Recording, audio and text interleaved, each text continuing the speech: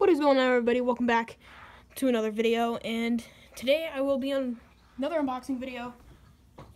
you guys saw the previous in-store. Um, you know that Target finally restocked with B-Case, but sadly every single truck here but Titan.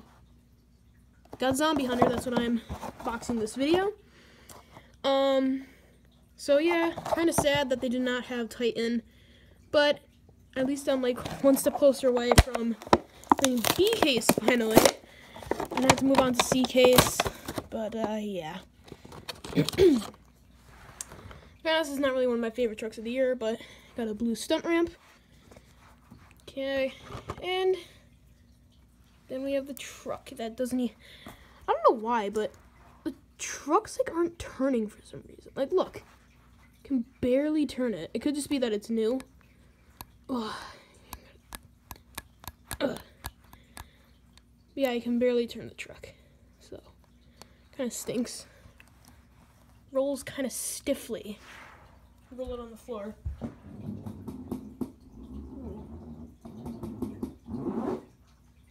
It's not in best condition. It's actually like stuck.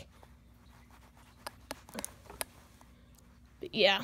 Anyway, so yeah, this really just looks like the basic truck in real life.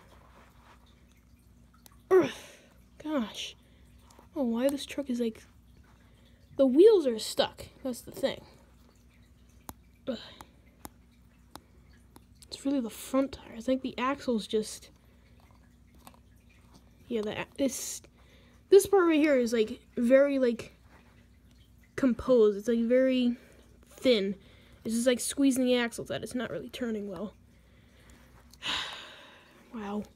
I got a case B truck and it turns out in very bad condition.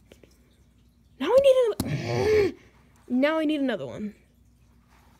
Oh my gosh, I need another one.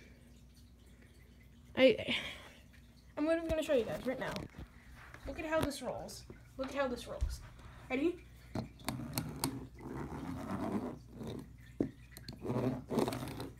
Just slides.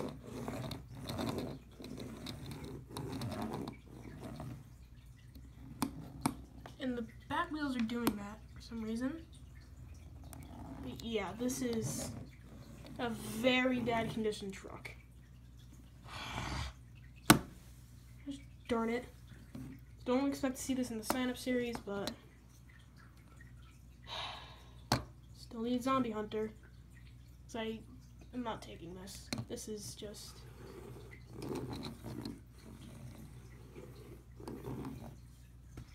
Sorry you guys had to see this, but... Thank you all for watching, and uh, be sure to like, comment, and subscribe. See ya.